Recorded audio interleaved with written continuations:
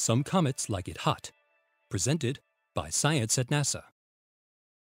Comets are icy and fragile.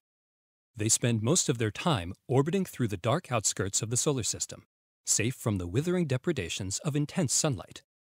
Their natural habitat is the deepest cold. Last November, amateur astronomer Terry Lovejoy discovered a different kind of comet. The icy fuzzball he spotted in the sky over his backyard observatory in Australia was heading almost directly for the Sun. On December 16th, less than three weeks after he found it, Comet Lovejoy would swoop through the Sun's atmosphere only 120,000 kilometers above the stellar surface. Astronomers would soon realize a startling fact. Comet Lovejoy likes it hot. Terry found a sun grazer, says Karl Battams of the Naval Research Lab in Washington, D.C.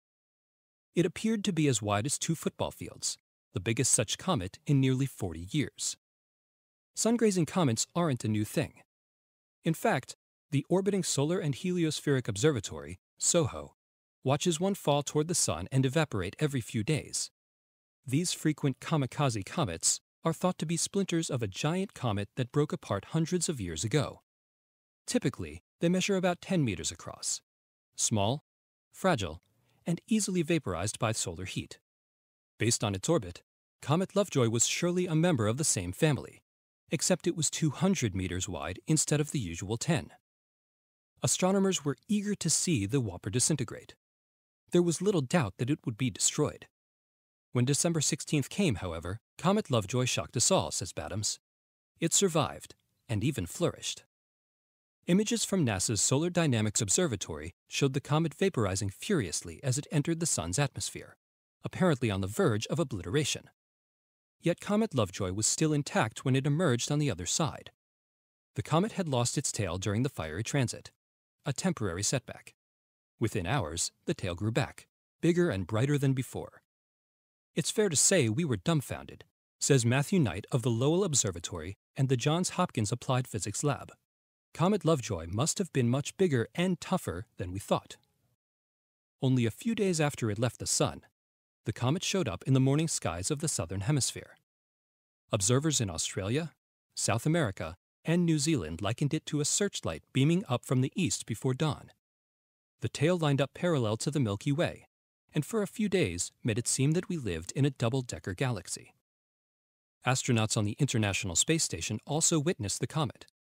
ISS Commander Dan Burbank, who has seen his share of wonders, even once flying directly through the northern lights on board the space shuttle, declared Comet Lovejoy the most amazing thing I have ever seen in space.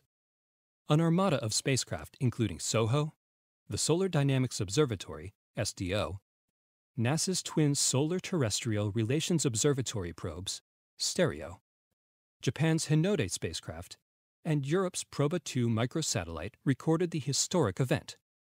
We've collected a mountain of data, says Knight, but there are some things we're still having trouble explaining. For instance, what made Lovejoy's tail wiggle so wildly when it entered the solar corona? Perhaps it was in the grip of the sun's powerful magnetic field. What caused Lovejoy to lose its tail inside the sun's atmosphere, and then regain it later? This is one of the biggest mysteries to me, says Battams. And then there is the ultimate existential puzzle. How did Comet Lovejoy survive at all? The comet that liked it hot is returning to the outer solar system, apparently still intact leaving many mysteries behind. It'll be back in about 600 years, says Knight. Maybe we will have figured them out by then. To learn more about solar system mysteries, hot and cold, visit science.nasa.gov.